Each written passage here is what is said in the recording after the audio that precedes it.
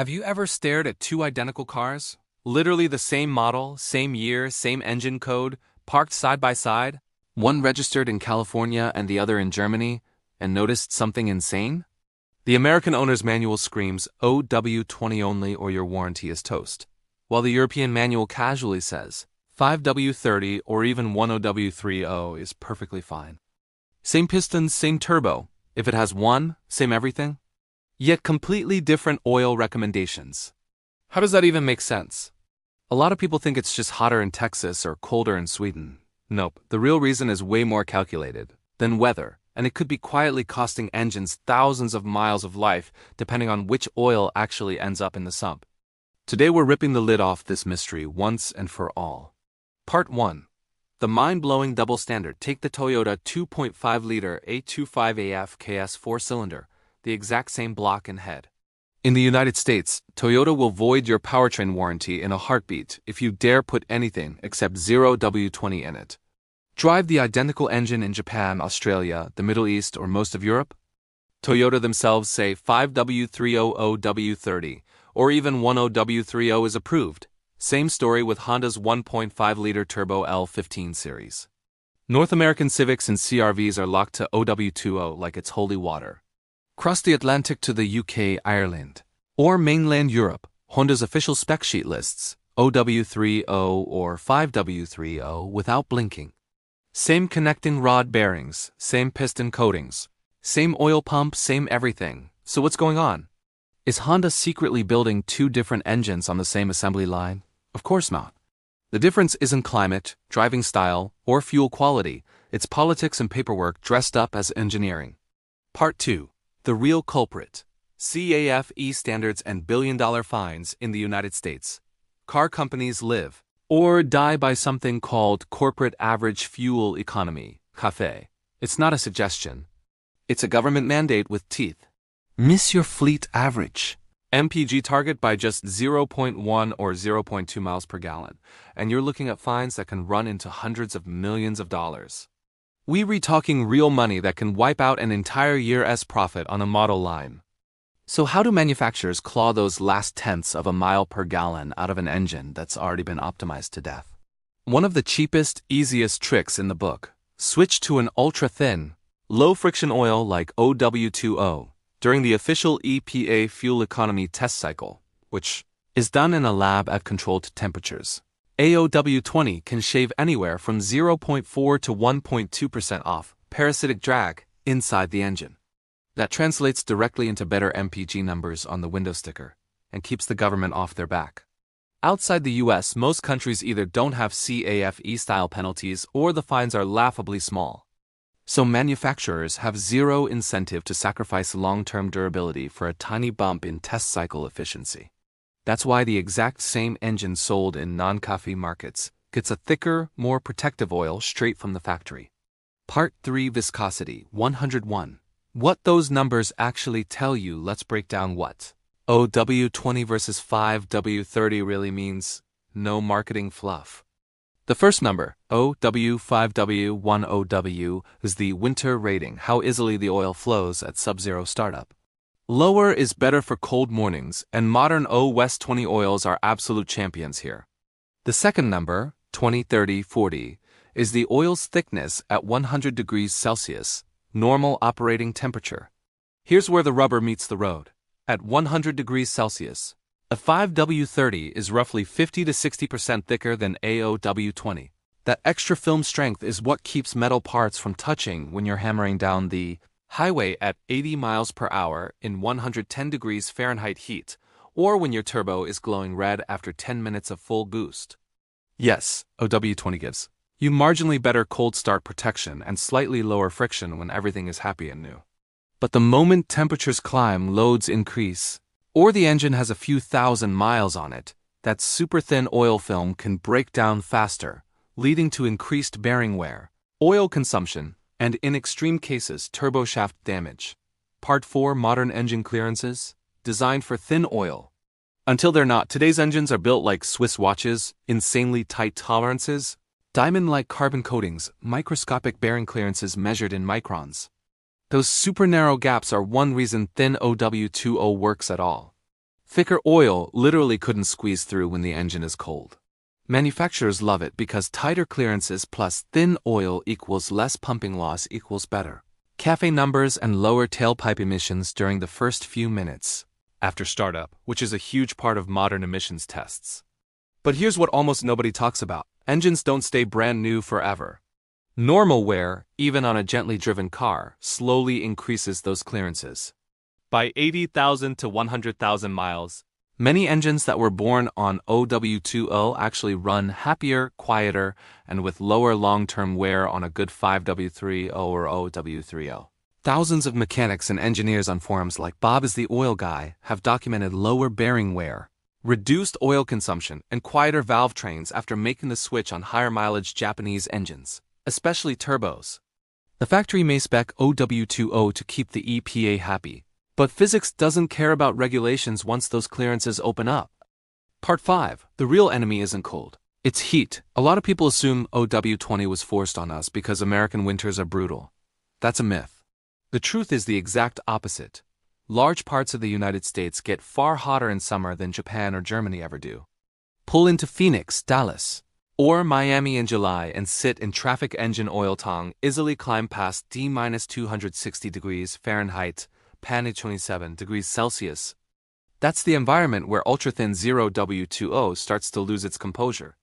Real-world oil analyses from Blackstone Labs, Lake Speed Jr., and countless used oil reports on forums consistently show that many 0W20 synthetics, shear 10, minus 20% of their viscosity in just 5,000 to 8,000 miles when routinely exposed to those temperatures. A good 5W30 of the same quality usually drops less than 5%.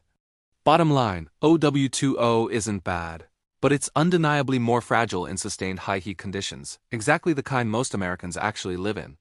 Part 6 Who actually decides the oil spec? Hint, not the engineers. Here's the dirty little secret nobody puts in the owner's manual. In the US, the viscosity printed on the oil cap isn't always what the engine designers wanted. It's what the EPA accepted during fuel economy certification. Changing it later triggers an expensive, year-long recertification process. So once Toyota, Honda, or Hyundai locks in 0W20 to squeeze out that extra 0.3 to 0.8 mpg for CAFE credits, they're basically stuck with it on paper forever, even if real world data later proves 5W30 is better for longevity in hot climates. That's why you'll find Toyota Australia, Toyota Middle East, Nissan GCC, and Mazda Southeast. Asia openly listing 5W30 or even 0W30 as the factory fill and recommended grade for the exact same engines sold here with 0W20. Looser fuel economy rules in those markets let the engineers win instead of the bureaucrats. Part 7 Actual teardown and oil analysis evidence. Example 1. 2 2018 to 2023 Toyota Camrys with the 2.5 LA25 AFKS engine. Both driven in Texas, Florida climate for 120,000 plus miles. Car A. Strictly 0W20 synthetic, dealership bulk oil. Car B. 5W30 full synthetic. Mobil 1. Valvoline restore and protect, etc. Used oil analysis Blackstone showed Car A had 38 to 45% higher iron and aluminum wear metals. When the valve covers were pulled at 130k miles, Car A had noticeable varnish and light carbon on the camshafts. Car B was practically clean. Fuel economy difference? Less than 0.6 mpg, roughly $35 to $45 a year at today's gas prices. Example 2 Honda Civic 1.5T L15B7 Multiple documented cases, Project Farm, Speed Diagnostics, BITOG members, where switching from 0W20 to 5W30 dropped oil consumption from 1 quart every 3,000 miles to almost zero, and cut chromium and bearing material in half on subsequent UOAs. Honda Canada and Honda Australia already approve OW305W30 for this exact engine. Part 8 Will switching void my warranty? Short answer No. Under the Magnuson-Moss Warranty Act, the burden of proof is on the manufacturer. They have to prove that using a thicker viscosity that still meets or exceeds the required API SP, ILSAC GF6A or GF7 standard directly caused the failure. Good luck with that when their own overseas divisions recommend the thicker oil. You'll even find US service bulletins. Toyota TS, B000322, Honda SB21086, etc. that quietly say 5W30 may be substituted when 0W20 is unavailable. Translation They already know it works perfectly fine. Part 9 It's not just the number additive packages rule everything a top tier 0W20 AmSoil signature. HPL number 7 Mobil 1 EP with high ester content and robust ZDDP moly can easily outperform a bargain bin conventional 5W30. Conversely, a cheap meets a PISP 5W30 from a no-name brand can be worse than the best 0W20. So yes, viscosity matters, but formulation matters more. If you're going to switch, don't just grab whatever 5W30 is on sale. Pick something with a strong reputation for HTHS retention and film strength. Mobil 1, Pennzoil Ultra Platinum, Valvoline Extended Protection, Castrol Edge, Amsoil, etc. Part 10. The winter rating is almost irrelevant for 90% of owners. The 0W versus 5W only tells you how the oil behaves at minus 35 degrees Celsius, minus 40 degrees Celsius, Unless you regularly start your car in those temperatures, the cold pumpability advantage is meaningless.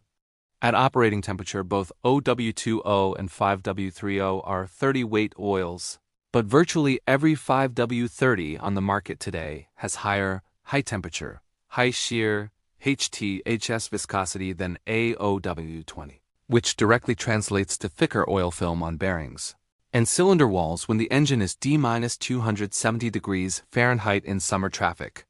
Part 11.